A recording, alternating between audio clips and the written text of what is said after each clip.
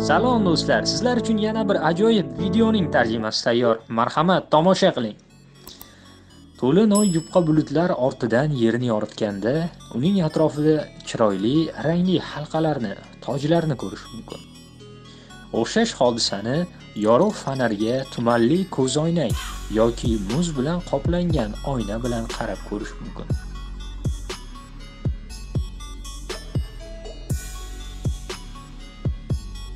Ko'chaga fotoapparatni olib chiqamiz. Oynaga qarab nafas puflaymiz va uni obyektivga olib kelib bir nechta surat olamiz. Mana biz nimaga ega bo'lamiz. Bu yerga kamalak ranglari qayerdan berilyapti?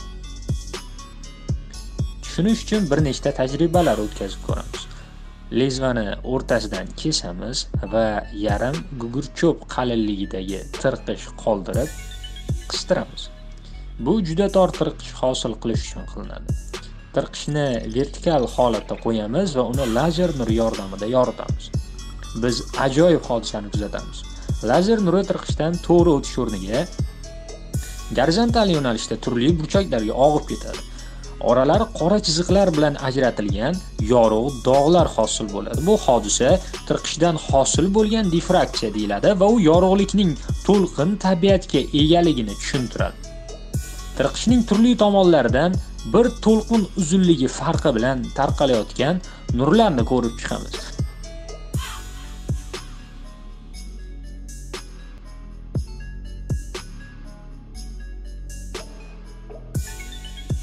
Tirqishni yana kichkina bo'laklarga bo'lib chiqamiz. Har bir bo'lak ikkilamchi nur manbasi bo'ladi. Markazdagi bo'lakdan tarqalayotgan nur chap tarafdagi nurdan yarim to'lqin uzunligicha ortda qolib ketadi. O'ngdagisidan esa xuddi shuncha oldinlab ketadi. Va bu yo'nalishda qora soha hosil bo'ladi. Keyingi bunday sohalar 1,5, 2,5, 3,5 va hokazo to'lqin uzunliklari farqidan hosil bo'ladi.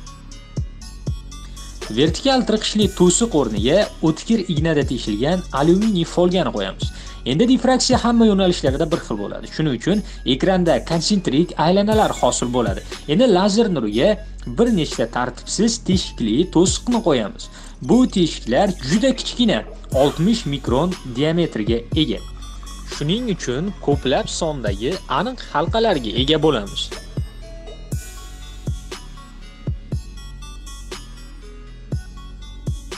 Ana endi nur o'tkazuvchi plastinani olamiz va undagi qora nuqtalargina nurni to'sib qolishi mumkin.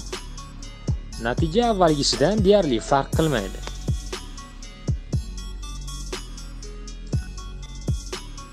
Endi bu tirqishga ingichka oq yorug'lik nurini tushiramiz.